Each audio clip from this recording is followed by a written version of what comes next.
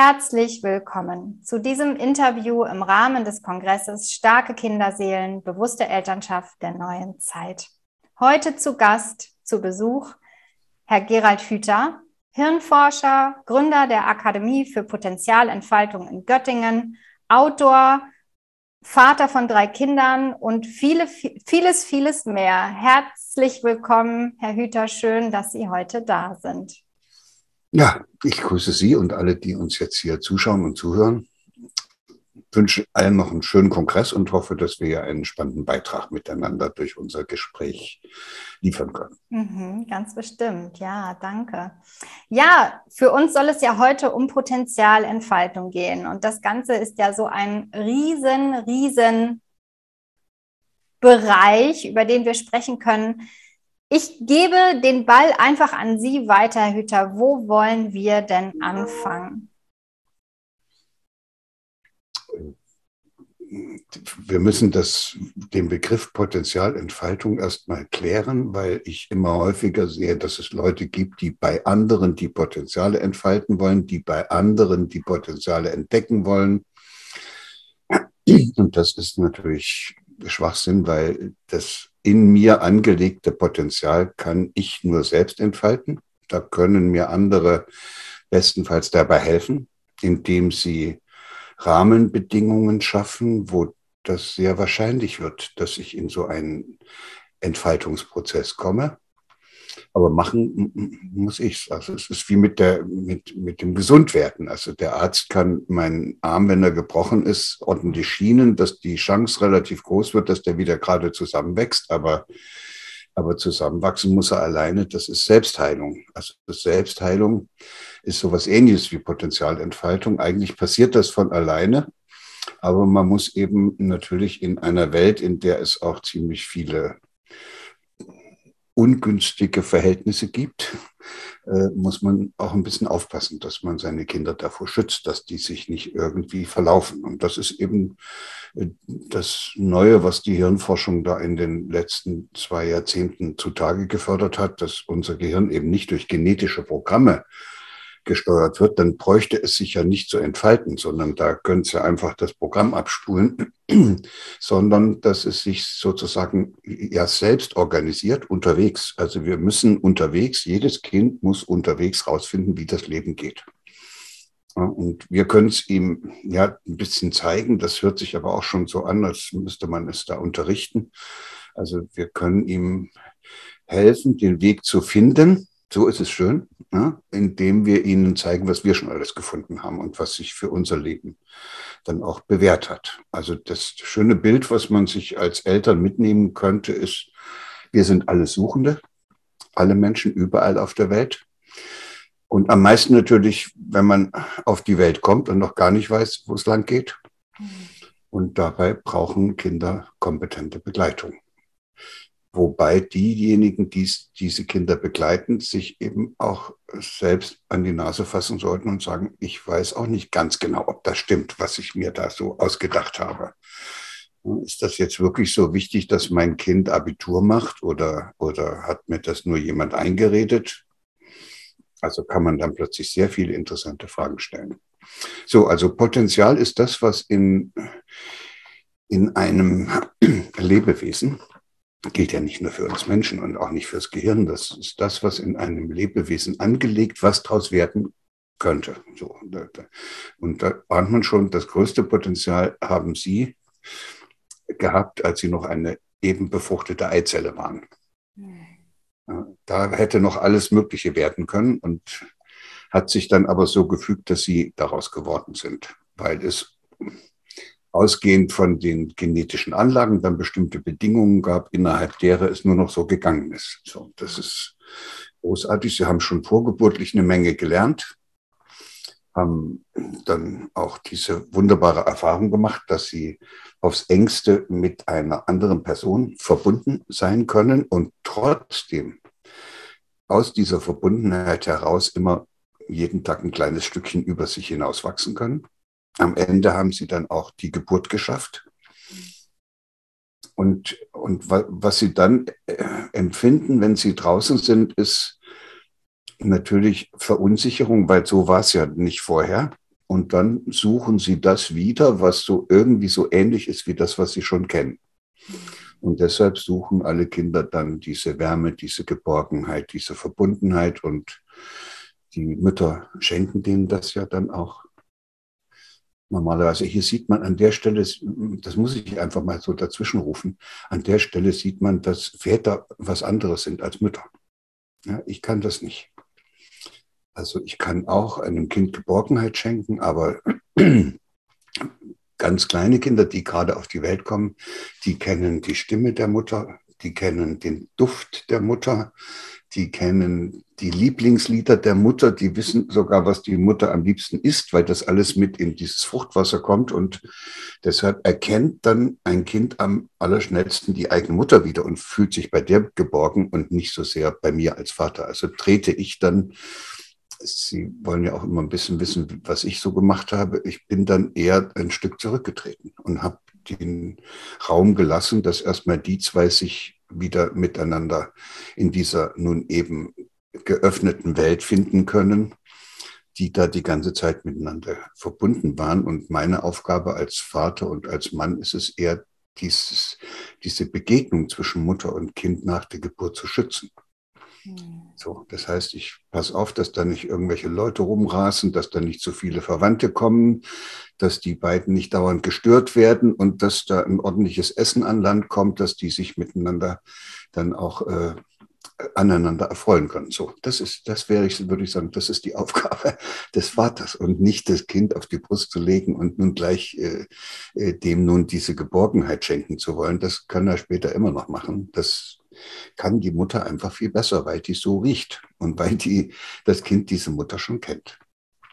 Naja, und, und dann geht es eben los, dass das Kind diese Verbundenheit findet und dann weiß jeder, da gibt es noch ein zweites. Das ist ja dann wie ein Bedürfnis. Man hat das vorher die ganze Zeit gehabt. Das ist so, als ob ich die ganze Zeit äh, immer weiß, dass wenn ich abends um fünf nach Hause komme, meine Frau da ist, und dann komme ich plötzlich nach Hause und meine Frau ist nicht mehr da, dann kann ich sagen, das ist eine Erwartungshaltung, so heißt das dann. Und, und das nennt man dann ein Bedürfnis. Und das Bedürfnis heißt, ich gehe davon aus und ich möchte gerne, dass meine Frau zu Hause ist oder ich möchte gerne, dass ich diese Verbundenheit wiederfinde, die ich äh, schon aus dem Mutterleib als Erfahrung mitgebracht habe, dieses Verbundenheitsgefühl. Und wenn das dann gestillt werden kann, dann kommt das zweite Grundbedürfnis zum, zur Geltung. Und das kennen wir dann auch alle. Wenn es Kindern gut geht, fangen sie an zu spielen. Und, und, und da geht es um das eigene Entdecken. Da geht es, also hirntechnisch würde man sagen, das Kind fängt an, sich seine eigenen, selbst, seine eigenen Lernerfahrungen selbst zu konstruieren. Mhm. So, da, da, muss keiner kommen, der das macht, sondern hm, wieder braucht es einen Raum, das müsste dieser geschützte Raum sein. Und äh, Material findet das Kind sowieso. Und wenn es die eigenen Finger sind oder die eigenen äh, Zehen oder irgendwelche äh, anderen Dinge, das muss nichts Besonderes sein. Aber man wird dann sehen, dass Kinder, denen es gut geht, wo das erste Bedürfnis gestillt ist, dass die dann sofort anfangen, die Welt zu entdecken, spielerisch. Ne? Und solange das der Fall ist, könnten sich Eltern zurücklehnen und können sagen, großartig. So. Wenn das Kind aufhört, die Welt entdecken zu wollen und dauernd nur am Rockzipfel der Mutter hängt und jedes Mal, wenn die Mama da rausgeht und Riesentheater macht, dann heißt das, irgendwie hat das Kind nicht diese innere Sicherheit. Es hat ständig Angst, dass die Mama es verlässt. Und dann muss man das erstmal in Ordnung bringen, bevor man dann mit viel Freude sich wieder daneben setzen kann und zuschauen kann, wie das Kind wieder spielerisch entdeckt, was auf dieser Welt alles möglich ist. So, und weshalb ich das alles so sehr lange ausführe, ist ja nur, dass wir, dass wir uns anhand dieser Beschreibung nochmal daran erinnern, dass das alles von alleine geht. Und mhm. dass da Potenzialentfaltung das Normale ist, was da stattfindet. Und worüber wir uns unterhalten müssen, sind die Dinge, die man so machen kann und die man als Kind beim Hineinwachsen in diese Welt erleben kann, was dazu führt, dass dann keine Potenzialentfaltung mehr stattfindet, sondern wo das Kind mit Problemen belastet wird, für die es keine Lösung findet. Und, und, und die Lösungen, die das Kind dann findet, sind dann auch nicht so gut. Das ist ja, was wir wollen, sind ja Kinder, die, ganz weit auf sind. Also für das, was es in der Welt alles zu entdecken und zu gestalten gibt. Und sobald ein Kind ein Problem hat, dann geht der Fokus zu. Dann guckt es nur noch, wie kann ich jetzt dieses Problem lösen. Und das häufigste Problem und das schwerwiegendste Problem, was Kinder haben, ist nicht, dass die jetzt mal mit dem Spielzeug nicht zurechtkommen oder irgend sowas. Das sind alles lösbare Probleme für Kinder. Das schwerwiegendste Problem ist, wenn sie erleben müssen, dass sie wie ein Objekt behandelt werden. Und jetzt wird es bitter für viele, die uns jetzt hier zuschauen. Und dieses Gefühl bekommt ein Kind automatisch, wenn Eltern ihr Kind zum Objekt ihrer Erwartungen machen.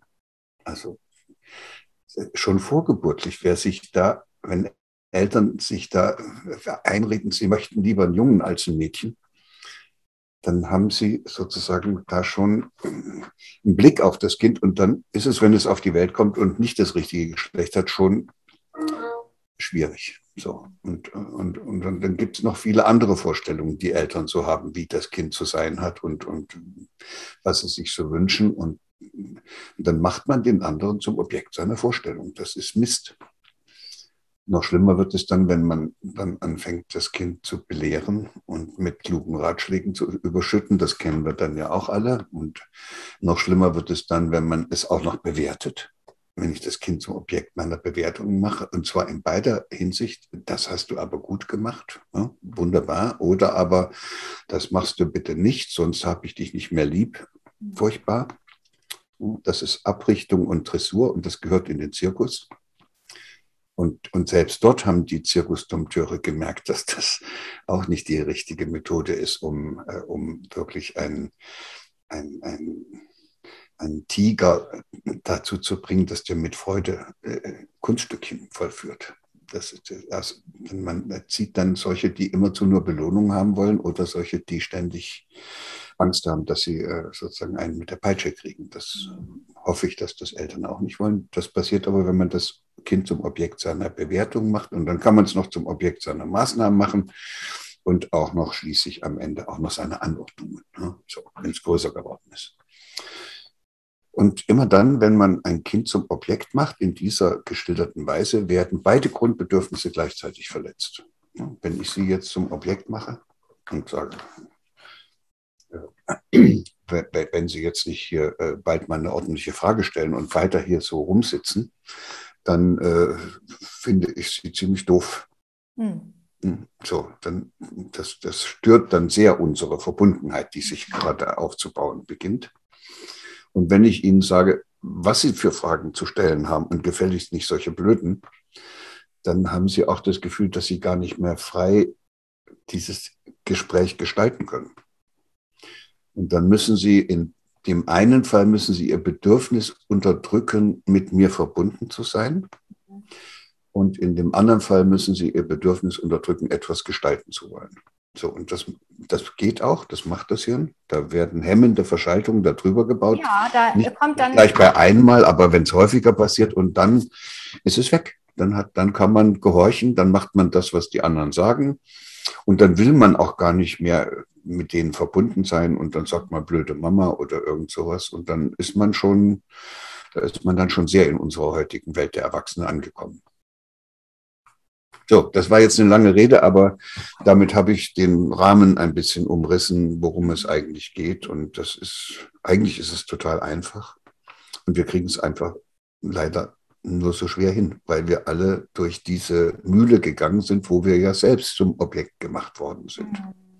Und jetzt kommt diese neue Generation, die dann ja auch mit ihrem Podcast angesprochen wird von Eltern, die merken, dass da was falsch war und würden es gerne richtiger machen und da glaube ich, dass es gut ist, wenn die dann sich miteinander unterhalten und nach Wegen suchen, wie man es richtig macht, weil man kann sich auch äh, beim Versuch, es anders zu machen, auch wieder verlaufen.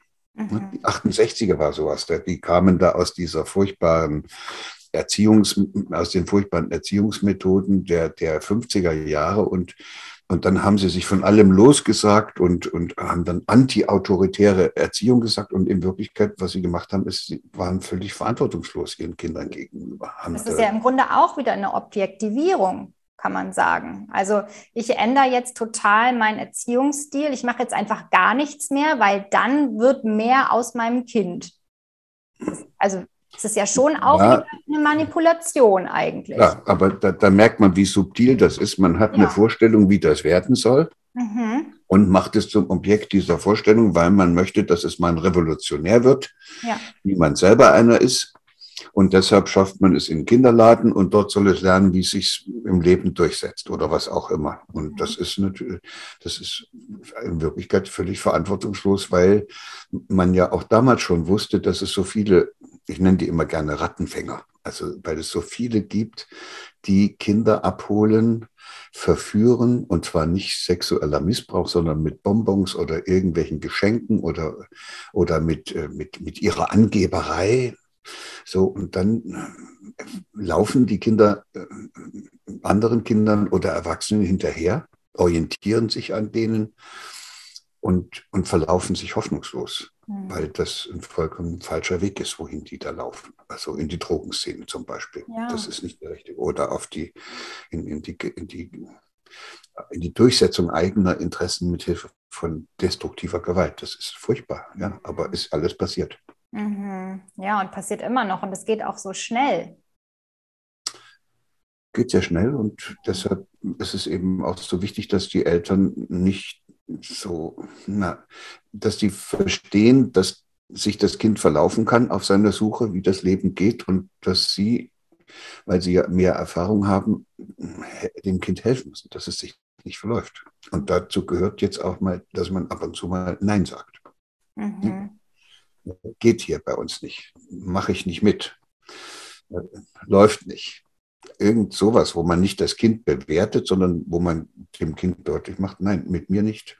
Ja, absolut. Also ich empfinde das. Man muss ja auch merken, dass man eine, dass es mit einer eigenständigen Person zu tun hat. Sonst mhm. kriegt man ja, äh, dann kann das Kind sehr leicht auf die Idee kommen, dass es äh, seine eigenen Interessen durchsetzen kann auf Kosten der Interessen von anderen. Das, mhm. Wer das gerne will, der muss es so machen, aber ich glaube, das ist kein gutes Modell für die Zukunft, wenn man so groß wird.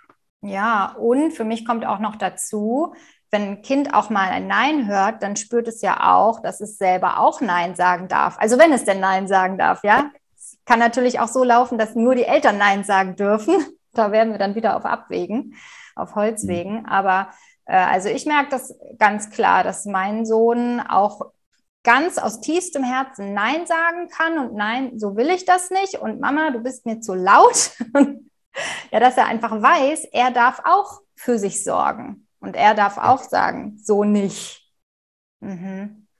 Ja, klar, das ist das, was äh, was dann am Ende äh, eigentlich vielleicht sogar das Allerwichtigste ist, dass man als Eltern nur liebevoll mit dem Kind umgehen kann, wenn man liebevoll mit sich selbst umgeht.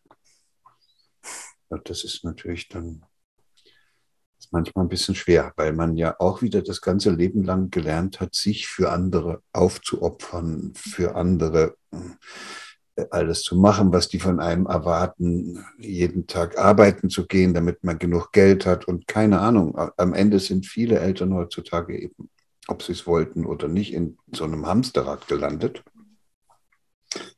Und, äh, und da kann es eben dann sehr leicht passieren, dass man nicht mehr liebevoll mit sich selbst umgeht. Dann verliert man den Kontakt zu sich selbst, zu seinem eigenen Körper, zu seiner zu seinen eigenen lebendigen Bedürfnissen und dann funktioniert man dann nur noch so. Und das ist dann nur noch eine Frage der Zeit, wann dann die Ehe zerbricht, wann die Kinder weglaufen und man dann in eine schwere Sinnkrise gerät, weil man sich selbst verloren hat in diesem, in diesem Hamsterrad. Und da ist es dann schon günstig, wenn man ab und zu unterwegs man innehält und sich fragt, gibt es denn jetzt vielleicht auch irgendwas, was ich wie ich mir was Gutes tun kann. Das hat mit Egoismus nichts zu tun. Also das wird immer dann gesagt, du bist aber jetzt egoistisch. Nee, ich tue mir was Gutes und der das ist vielleicht sogar das Gegenteil vom Egoisten, weil der Egoist, der braucht immer andere, die er über den Tisch ziehen kann, wo er angeben kann, wo er, äh, die er ausnutzen kann. Also ein Egoist ohne andere Leute, das macht überhaupt keinen Spaß. Aber liebevoll mit sich selbst sein, da brauche ich überhaupt niemanden. Das kann ich am besten im Wald. Mhm. Also da, das, das, das, hat mit Egoismus überhaupt nichts zu tun. Das hat sehr viel mit Selbstfürsorge zu tun. Und die ist uns allen in dieser Art von Erziehung, die wir durchlaufen haben, äh, die, die, wir mussten das unterdrücken. Also wir hätten es gekonnt. Worden? Ja, wir hätten es gekonnt, das war Potenzial, aber das konnte sich leider nicht entfalten, weil wir in Situationen gebracht worden sind, wo wir dann doch unser lebendiges Bedürfnis nach Zugehörigkeit lieber unterdrückt haben, weil es dauernd verletzt worden ist, oder unser Bedürfnis nach eigenen Gestaltungsmöglichkeiten haben wir lieber unterdrückt und nichts mehr gestaltet, weil wir dann gemerkt haben, dann tut es nicht mehr so weh, wenn man immer das machen muss, was andere einem sagen. Also Hausaufgaben und all diese schönen Sachen, die man dann in der Schule hat. Ich habe früher übrigens immer gedacht, die Schule sei der Ort, wo diese, wo man am schnellsten zum Objekt gemacht wird und wo die lebendigen Bedürfnisse unterdrückt werden. Das können Sie dann mal äh, auch im Rahmen dieses Kongresses mit den Teilnehmern und Teilnehmerinnen machen.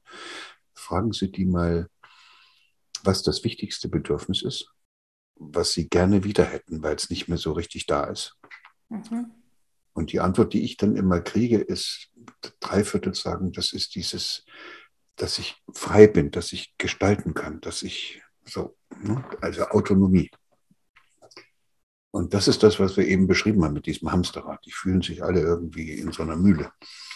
Und wenn man dann fragt, und wann haben Sie dieses Bedürfnis das erste Mal in sich selbst unterdrücken müssen? Da habe ich gedacht, kommt Schule. Und da kommt bei Dreiviertel Elternhaus. Das, da, da, das ist sehr interessant, weil das bedeutet, dass es in der Schule nur weitergeführt wird. Man kommt schon, also jetzt würde ich sagen, man kommt schon mehr oder weniger gebrochen in der Schule an. Jedenfalls als jemand, der nicht mehr mit dieser ganzen Unbekümmertheit spielerisch die Welt entdeckt, sondern der schon guckt, ob das alles richtig ist, was er da macht, ob die anderen ihn dann auch mögen, wenn er das so macht.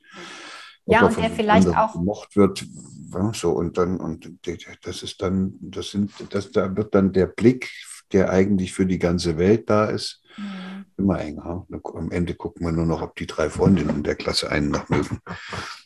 Tut alles dafür, dass denen, dass, äh, dass, dass man denen gefällt. Das ist natürlich furchtbar wenig. Also mhm. man kann in dieser Zeit ja so viel lernen. Und wenn man dann sich vorstellt, man hätte, man hätte drei Freundinnen oder, oder vielleicht sogar noch mehr, die nicht solche Anforderungen an einen richten, dass man auch dieselben Ohrringe haben soll und genauso geschminkt und keine Ahnung, was die sich da alle gegenseitig erzählen, sondern die also so wie Pippi Langstrumpf unterwegs wären. Und mit drei solchen, na, da, da könnte man genug entdecken. Da ging, der, da ging die Post ab. Mhm. Und da braucht man dann wieder Eltern, die dann, dann das aushalten, weil dann ist die Schule nun nicht mehr das Zentrale, wo man unbedingt hin muss, äh, hin will. Mhm. Jedenfalls, man will natürlich lernen, wie verrückt, aber die merken dann schnell, dass das, was da in der Schule stattfindet, nicht das ist, was, was sie brauchen. Brauchen Futter. Und das ist wahrscheinlich das, was dann auch schon vorher in der Familie passiert, denke ich. Ähm, die, eben dieses, ich hinterfrage, was in der Schule passiert. Also wenn ein Kind sehr frei aufgewachsen ist, die ersten sechs Jahre, dann, also ich bin davon überzeugt, dass die Kinder das dann eher hinterfragen würden, was da so passiert. Und die Kinder, die vorher, Sie haben gerade das Wort gebrochen benutzt, und es ist hart, aber im Grunde ist es so. Ähm, die gebrochenen Kinder, die hinterfragen es erst gar nicht. Die reihen sich ein in die Schlange und machen, was erwartet wird, weil sie kennen es ja, ja, nicht anders. Das ist ja noch schlimmer. Das sind ja dann auch diejenigen, die viele Erwachsene für besonders artig und brav halten. Hm. Die freuen sich über solche Kinder. Ja. Also in dieser Zeit, wo die alle ihre Masken da aufsetzen mussten, wie viele Erwachsene gab es, die dann gesagt haben, guck mal, die Kinder sind das, die machen das viel besser als die Erwachsenen. Mhm. So toll sind die Kinder, dass die diese Masken aufsetzen. Das vordergründig kann man das natürlich schon als Erwachsener sagen, aber man muss sich mal fragen, was das für, ein, für so ein Kind bedeutet, dann den ganzen Tag mit so einer Maske rumzulaufen und dann Abstand zu halten und und seine ganzen lebendigen Bedürfnisse so sehr zu unterdrücken, dass es also am Ende wirklich alles so macht, wie man das von ihm erwartet. Das, und dann macht man das ja als, was weiß ich, als siebenjähriges Mädchen, jetzt schon zwei Jahre oder so.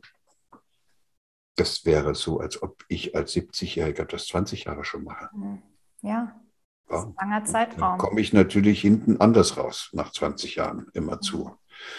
Äh, ständig einen Bogen um andere Leute machen und ständig Angst haben, dass ich die, dass ich meine Oma äh, umbringe, wenn ich dazu, der zu nahe komme und was noch alles dann.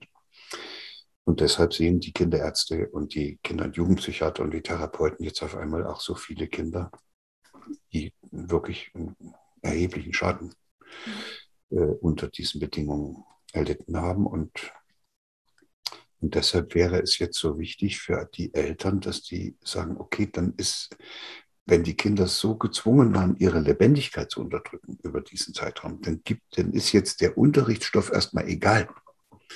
Und da müssen wir versuchen, denen die Chance wiederzugeben, wieder lebendig zu werden. Also raus in den Wald, raus in die Natur, spielen miteinander, die Welt entdecken, aber bloß keinen Unterricht machen. Und da merkt man schon, dass viele Eltern, die uns jetzt hier zuhören und zuschauen, sagen, oh, aber wann sollen sie denn das alles nachholen? Ne? Und der sollte doch jetzt schon Englisch können. Und das hat er auch nicht gelernt, weil die Schule so so die ganze Zeit nicht funktioniert hat. Da muss man dann einfach, äh, also man müsste als Eltern versuchen rauszukriegen, was wirklich das Wichtigste ist für das Kind. Ist das wirklich wichtig, dass die Abitur 1,0 machen? Oder ist es wichtig, dass die in dieser Zeit bis zum Abitur ihre Freude am Lernen nicht verlieren? Das könnte sein, dass das viel wichtiger ist, dass die noch mit 17 so irrsinnig neugierig sind und alles Mögliche lernen wollen. Und dann würde ich meine Hand dafür ins Feuer legen, dass solche Kinder auch wirklich einen guten Weg finden im Leben. Mhm. Ja, das Leben Währenddessen ich mir nicht so sicher bin, ob die Angepassten, die da Abitur 1,0 machen und dann ihren geraden Weg gehen, so wie Mama und Papa sich das gewünscht haben, mhm. ob die da glücklich werden. Ne? Viele von denen kriegen dann sehr schwierige Entwicklungen. Also Essstörung ist so ein Beispiel, selbstverletzendes Verhalten. Man könnte fast sagen, die, die mögen sich selbst nicht mehr. Mhm.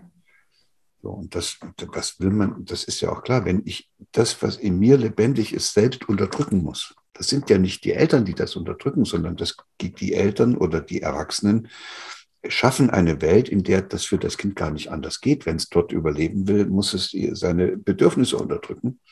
Ist uns ja auch so angetan worden. Aber wenn das dann doch zu massiv wird, dann mag man sich selber nicht mehr. Aber ich kann mich auch an eine Zeit erinnern, wo ich mich nicht gemocht habe. Also wo ich war nicht schön genug und ich war nicht sportlich genug und ich war nicht eloquent genug und keine Ahnung, was dir alles mir an, äh, an Vorbildern vorgehalten worden ist, wie ich eigentlich zu sein hätte. So. Und deshalb wäre das toll, wenn Kinder so das Gefühl hätten, dass sie erstmal so wie sie sind total okay sind. Also das nennt man dann bedingungslose Liebe, dass man das Kind einfach so erstmal nimmt, wie es ist und wunderbar. Und dann müssen wir zusammen, liebes Kind, du und ich, wir müssen rausfinden, wie wir es hinkriegen. Mhm. So. Und dann kommt was ganz Schönes. Die meisten Eltern haben ja auch ihre lebendigen Bedürfnisse schon so unterdrücken müssen, sodass die auch schon sozusagen mehr funktionieren, als dass sie leben. Und wenn, wenn man dann als Erwachsener diese Chance hat, ein Kind zu beobachten, was gerade noch so klein ist und noch nicht durch uns erzogen worden ist, sondern in seiner ganzen Lebendigkeit mit seiner Aufgeregtheit und seiner Neugier und seiner Offenheit und seiner Lust und so unterwegs ist, ne? dann ist das Kind eigentlich äh, ist der größte Schatz, den man so finden kann, weil das Kind hilft einem dann aus seinen eigenen Verklemmungen und, äh, und Verkrustungen und was da alles so im Hirn entstanden ist, Blockaden. Das, das, das Kind hat das alles nicht. Und das Kind hilft einem aus der eigenen äh, Fehlentwicklung wieder rauszukommen. Also eigentlich ist das Kind ein Ent äh, man verwickelt sich im Laufe des Lebens und das Kind ist wahrscheinlich, Kinder sind die besten Entwicklungshelfer, die es gibt. Mhm. Ja, mein Sohn, den nenne ich zwischendurch nur noch Meister. Das ist mein Meister, was ich von dem alles lerne. Ja. Der mir den Spiegel vorhält. Aha. Ja, man kommt so ein bisschen dann runter, dass man da ständig meint, man müsse die erziehen. Mhm. Klar, die brauchen unsere Führung und die brauchen unsere Kompetenz und äh, so, das ist schon alles richtig. Aber, aber das, die haben natürlich auch was. Und das sollte man nicht mit seinen Erziehungsmethoden dann futsch machen. Mhm. Dann hat man sich des größten Schatzes beraubt, den die Kinder mit auf die Welt bringen. Nicht so gut. Ja, ja, das klingt immer so, wir legen mal einen Schalter um, ist es natürlich nicht, werden alle Zuschauenden hier auch wissen, aber sich auf den Weg zu machen und sich immer wieder zu hinterfragen. Ich weiß ja, ich darf Sie fragen, wie war das denn in Ihrem Familienverbund damals? Ihre Kinder sind ja wahrscheinlich alle drei schon erwachsen. Sind Sie von Anfang an da so kritisch mit Erziehung, mit Objektivierung umgegangen oder gab es irgendwann ein Umdenken? Wie war das bei Ihnen? Ich glaube, dass man das gar nicht absichtlich machen kann.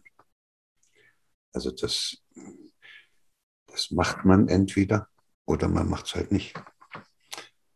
Entweder hat man so ein Gefühl für das, was die Kinder brauchen, oder man hat es nicht.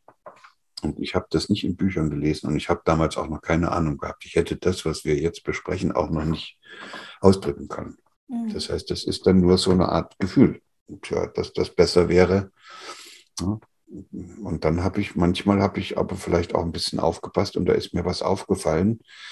Ich habe sehr häufig meine Kinder, meinen Kindern, äh, also ich, ich habe denen eingeredet, dass ich mit denen in, in den Garten gehe, gerne, um im Garten was zu entdecken.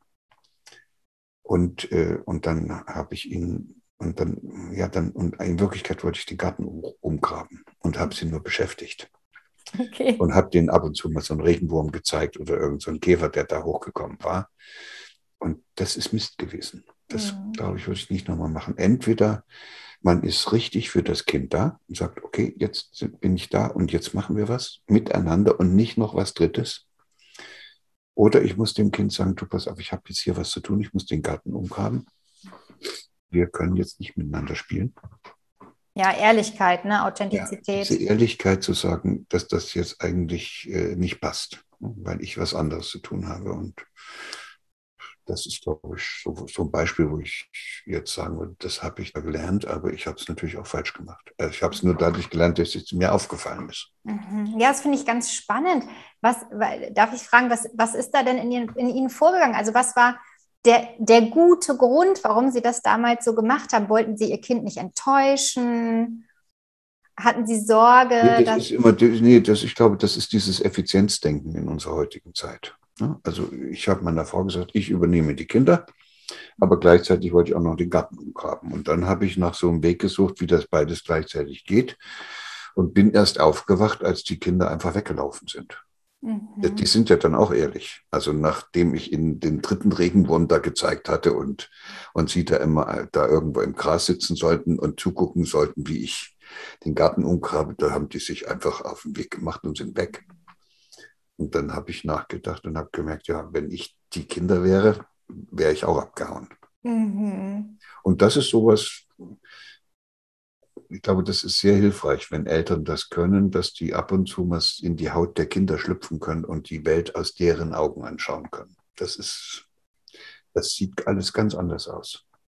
Mhm. Also ich, dieses Beispiel, wenn ich jetzt zwei Kinder habe, die sind meinetwegen noch beide Jungs und der Altersunterschied ist nicht so groß, also vielleicht nur zwei Jahre, dann mache ich ja, eigentlich bemühe mich, bemüht man sich als Eltern, alles gleich zu machen für die beiden, dass, die, dass, dass es nicht ungerecht ist.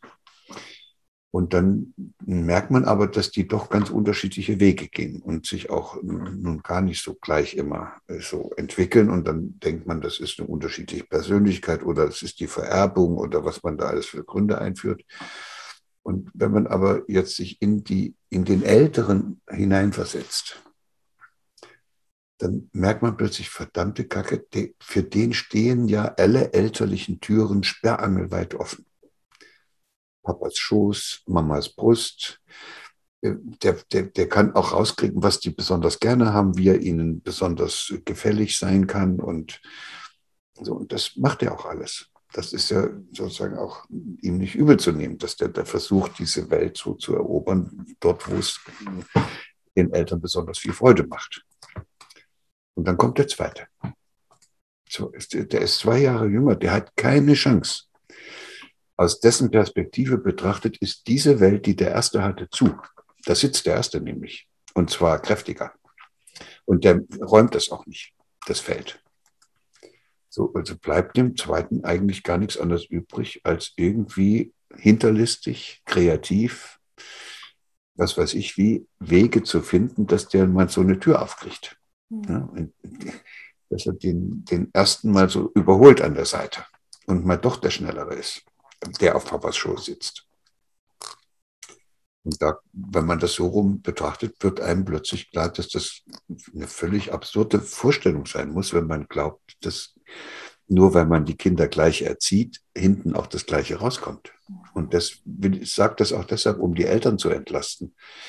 Das, die, die kindliche Lebenswelt wird nicht nur von den Eltern gestaltet. Das hängt auch von den anderen Familienmitgliedern ab, von Freunden, Bekannten, vom Kindergarten und der Kinderkrippe und wo die Kinder noch alles hin müssen. Da kann es eben durchaus passieren, dass das Kind in bestimmte Situationen kommt, wo es eine Lösung suchen muss. Und da heißt die Grund, ist also vielleicht das Grundprinzip, vielleicht machen wir das noch zum Schluss, weil das so schön ist. Was im Hirn verankert wird, ist nicht das Problem. Das ist die Lösung. Hm. Liebe Eltern, schaut euch an, wenn ihr mit irgendetwas nicht zufrieden seid bei eurem Kind oder euch etwas auffällt, etwas, wo man sagt, oh, eigenartiges Verhalten, ne? bisschen zwanghaft, bisschen zu verrückt, bisschen zu chaotisch, bisschen zu ängstlich oder ein bisschen zu laut oder ein bisschen zu naseweiß oder ein bisschen zu, äh, was weiß ich was.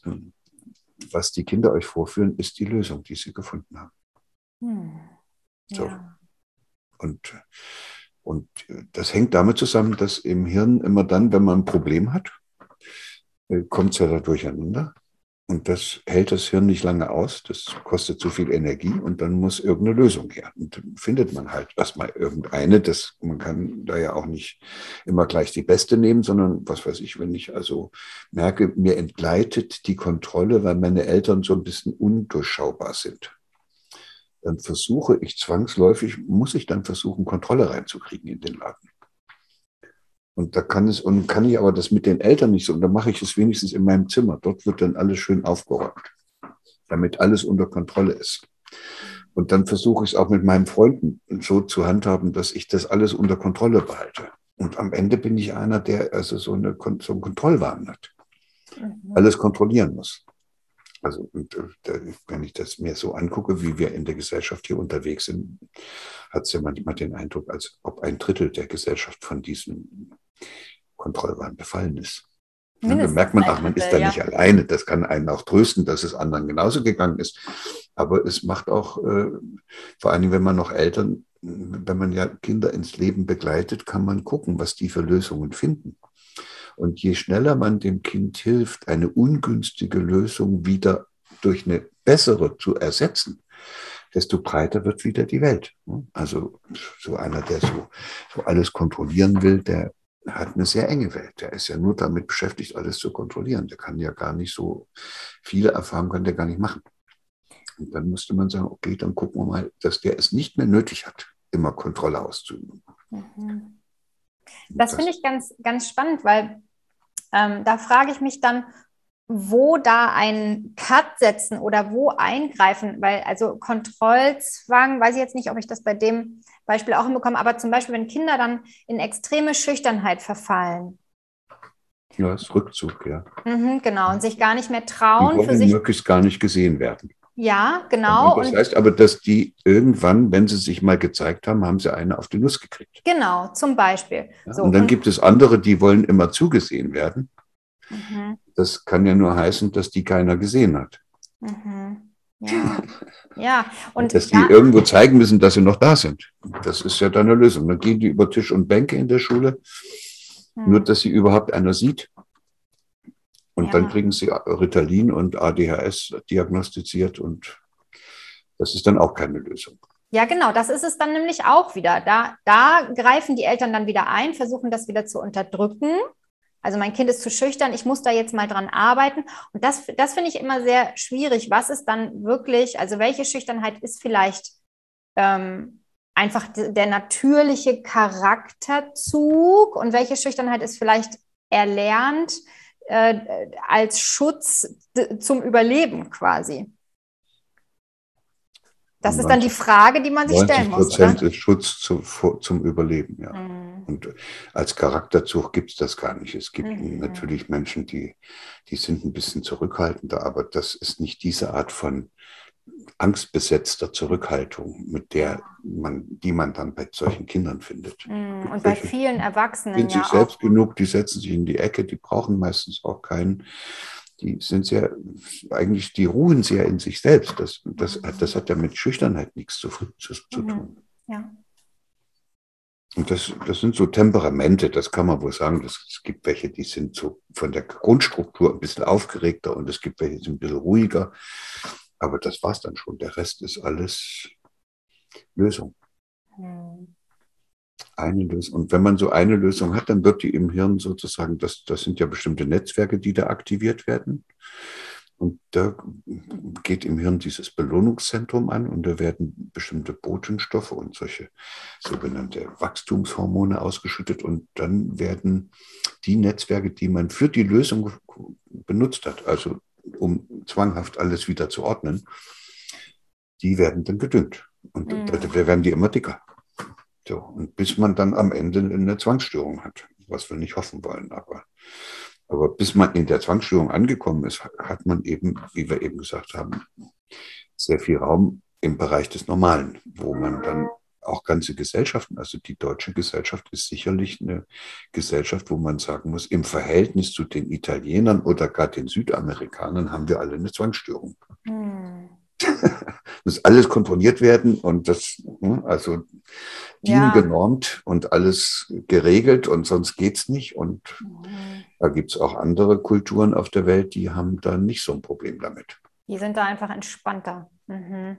Ja, die haben andere Lösungen gefunden. Mhm. Das ist, also die kümmern sich dann einfach um andere Sachen. Und das ist ihnen wichtiger, dass zum Beispiel, äh, dass die mit den anderen in so einem ständigen Austausch sind. Mhm. Also das, die regeln alles über, über, über Beziehungen. Mhm. Das ist auch eine Lösung, dass man ständig in so einer, in so einer Hektik ist miteinander. Und äh, es ist aber auch sehr ermüdend. Also ich kann das auch nicht so gut aushalten, wenn Leute so viel immer zu reden müssen. Ja, und das, ähm, ich kann das mittlerweile sehr gut zuhören. Und ähm, da entsteht dann ja auch wieder so ein Kreislauf. Solche Menschen, also und ich schließe mich da nicht aus, ja. Ich bin auch äh, groß geworden in genau diesem System. Äh, solche Menschen werden dann wieder auf ihre Kinder losgelassen im Grunde. So, die so diesen ja, Kontrollwahn das, haben. Die deshalb machen wir sowas. Ne? Wenn einem dann die Augen aufgehen, das steht in Delphi da erkenne dich selbst. Und wenn ich das plötzlich selbst merke, das ist dann, dann geht es mir plötzlich so, wie als, als ich damals mit meinen Mädchen diese Regenwürmer da immer ausgebuddelt habe. In dem Augenblick, wo ich es merke, was ich da für Mist mache, höre ich damit auf. Weil, weil das Schlimme ist, dass man den Mist macht, ohne ihn zu begreifen und gar nicht zu merken, dass man es so bescheuert macht. Man, ja. ist man, man macht so, wie alle das gemacht haben, oder man macht so, wie man es schon immer gemacht hat, oder man macht so, wie man es auch selbst als Kind erlebt hat. Aber das ist unreflektiert. Da ist, da ist man, man ist sozusagen wie ein, wie ein Zombie unterwegs. Mhm. Bis zu dem Augenblick, wo die Augen aufgehen und sagen, wow, mein Gott, was mache ich denn hier dauernd? Benutze ich das Kind als Objekt meiner Vorstellung. Ne? Also ich habe schon kleine Mädchen erlebt, die wollten unbedingt Prima Ballerina werden, nur weil die Mama eine gescheiterte Prima Ballerina war. Und die hat das gut gemeint, weil die wollte nämlich tanzen. Und dann äh, ging es aber nicht. Papa hat es nicht erlaubt oder sowas. Und jetzt tut die alles, dass dieses, ihre Tochter jetzt den Wunsch, den sie mal hatte, mhm. Verwirklicht. So, und da, und, und da das, da spricht ja nichts dagegen, nur man muss es wissen. Also wenn die das nicht weiß, was sie da tut, dann überfällt die ihre Tochter damit und, das, und da kommt die auch gar nicht raus. Aber wenn sie darüber nachdenken kann und kann sich fragen, warum sie denn jetzt unbedingt will, dass das Kind äh, tanzt, könnte es sein, dass es ihr auffällt oder es könnte auch sein, dass sie einfach sagt, nee, das, das ist einfach, weil das, ich möchte, dass es die Erfahrung machen kann, wie das ist, wenn man sich in diesem Tanz körperlich spürt. Wow, da, da habe ich kein Problem mehr. Ne? Mhm. Weil dann weiß ich, dass das Kind auch jederzeit damit aufhören kann, ohne dass die Mama traurig ist, dass sie so viel Geld investiert hat oder so viel Hoffnungen in das Kind gesetzt hat, damit es dann mal eine große Tänzerin wird. Mhm. Ja, oder gar sogar, sogar noch Erwartungen haben, du solltest dankbar sein, dass wir dir das ermöglichen, noch Druck aufgebaut wird. Mhm. Ja, ja, ja, wir könnten das ewig weiterspinnen, ja. Also was ich jetzt schön finde an dem Gespräch ist, wie normal das alles ist, worüber wir hier reden. Mhm. Dass man keinen Ratgeber braucht, um das zu sehen. Da muss man nur die Augen aufmachen. Und vielleicht reicht das, das ist ja dann auch der Vorteil von solchen Gesprächen, diejenigen, die uns hier zuschauen, denen sagen wir ja nicht, was sie machen sollen. Aber vielleicht kommen die selber auf eine Idee. Mhm.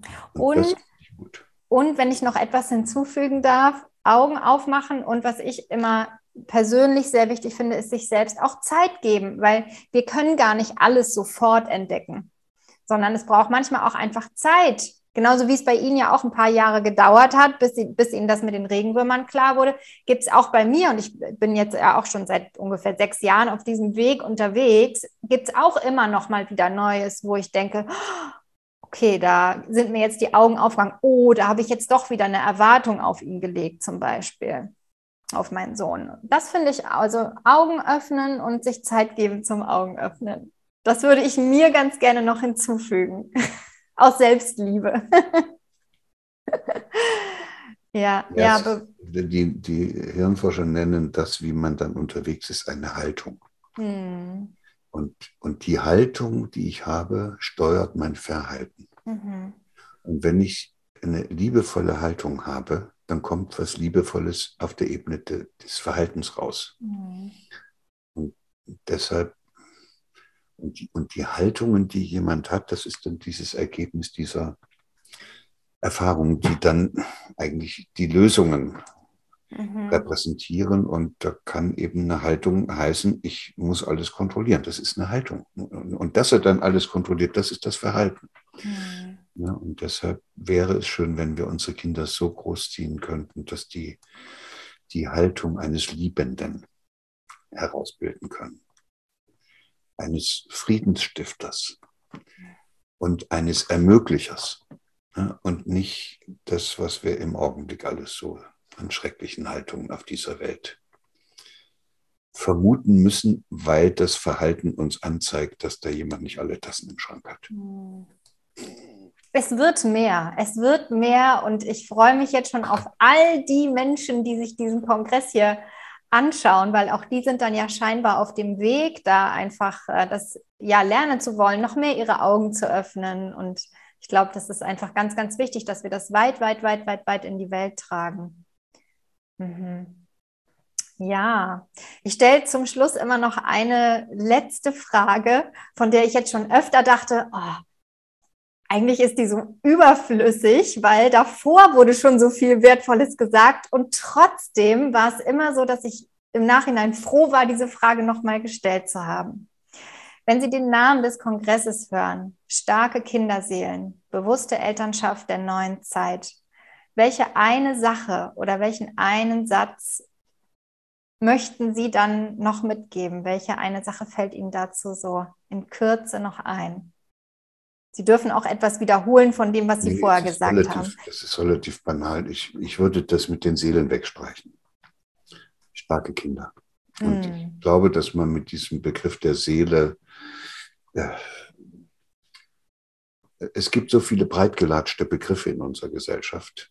Und hm, auf diese blöden Diskussionen, was denn nun die Seele sei, würde ich mich gar nicht gerne einlassen wollen. Mhm das ist mit Bewusstsein auch sowas. Also da sollen sie alle sich bewusst werden und keiner weiß richtig, was Bewusstsein ist. Ah. Und, und deshalb verschwimmt ein bisschen ihre doch sehr klare Überschrift. Mhm. Verschwimmt dann durch diesen Seelenbegriff ein kleines bisschen. Aber ich weiß auf der anderen Seite auch, dass es äh, der Versuch ist, diese, diesen Begriff der Seele wieder reinzunehmen, weil wir in dieser materialistischen Welt auch alles, sogar unsere Kinder entseelt haben und uns selbst auch. Also deshalb, äh, es ist okay, aber ähm, irgendwie brauchen wir da endlich mal eine Auseinandersetzung, was Seele überhaupt sein soll. Mhm. Ja, könnte man sich darüber unterhalten. Auch die Bewusstheit. Ich mag das einfach ganz kurz, ganz kurz erwähnen. Ich finde es total, total gut, dass Sie das jetzt so ansprechen, weil das zeigt mir ja auch, es gibt Menschen, die das vielleicht anders deuten als ich. Und ich, ich finde, wir zwei haben uns heute ganz, ganz viel über Bewusstheit unterhalten. Denn für mich ist Bewusstheit genau dieses Augenöffnen. Mhm. Dass einem sind, etwas da bin ich auch bei Ihnen, aber mhm. die meisten Menschen reden ja gar nicht von Bewusstheit. Bewusstheit geht ja schon ganz nah in den Bereich der Achtsamkeit, ist eigentlich noch eine größere Form von Achtsamkeit, Bewusstheit. Ich, ich schaue mir sozusagen selbst bei dem, was ich tue, zu. Und äh, das, das, was, der, und der Begriff ist nicht so plattgelatscht, den nehmen Sie nicht so oft da draußen. Aber Bewusstsein, der wird also derartig breit gelaufen. Ja, dann müssen wir ein neues Bewusstsein haben und da muss die Transformation des Bewusstseins jetzt endlich kommen. Und, und wenn man da fragt, was ist denn das Bewusstsein, ja, dann merkt man, die haben es noch nicht mal so weit gebracht, dass sie sich dessen bewusst wären, was sie tun. Mm, ja. Also da ist die Bewusstheit noch gar nicht da, aber das Bewusstsein ist schon als große Forderung da. Das soll sich das Bewusstsein nun auch noch verändern. Mhm. Da bin ich immer der Meinung, da muss man noch mal genau den Begriff angucken und muss noch mal genau miteinander klären, was man damit meint. Also man kann ja Worte verwenden, aber muss man aufpassen, was man damit meint. Das ist übrigens auch so ein ganz plattgelatschter Begriff ist Liebe. Das ist so traurig, aber leider heißt das, was ich da im Rotlichtviertel da kaufen kann, auch noch Liebe. Mhm. So, und das möchte ich nicht. Mhm. Und da kann man mit etwas Bewusstheit, kann man zu jemand werden, der dies in diesem Kontext nicht mehr benutzt, der diesen Begriff Liebe nur noch dort benutzt, wo er hingehört. Ja. Und, und eine abhängige Beziehung, die auch viele Partner miteinander pflegen, ist keine Liebe. Mhm. Wenn ich den anderen brauche und ohne den nicht mehr leben kann, da würde ich lieber abhauen. Oder ohne den unglücklich Hört sich nicht das gut reicht an. ja schon. Hört sich nicht mhm. gut an, wenn ich, wenn ich sozusagen plötzlich die Lebensstütze meines Partners werde und er dann in sich zusammenbricht, weil ich nicht mehr da bin. Dann, mhm. nee, man müsste sich ja gegenseitig Kraft schenken. Man müsste sich ja gegenseitig in seine Kraft helfen und, und alles dafür tun, dass der andere in seine Kraft kommt. Und wenn ich da selbst so ein Schwächling bin, dass ich den anderen ständig brauche, dann schwierig. Dann dürfen wir uns mit uns selber beschäftigen. genau das. Okay. Ja, ich danke Ihnen sehr für Ihre Zeit, für all Ihre Worte, für das Gespräch. Und ähm, genau, alle wichtigen Links auf Ihre Seite die verlinke ich hier drunter, wenn, Sie sich wenn ihr euch informieren möchtet über Herrn Hüter noch weiter. Dann findet ihr alles unter dem Interview. Und ja, jetzt wünsche ich Ihnen und allen Zuschauenden ähm, einfach noch einen schönen Tag, eine gute Zeit und alles Liebe. Tschüss. Okay, ich danke Ihnen und äh, herzliche Grüße an alle, die uns hier zugeschaut und zugehört haben. Alles Gute.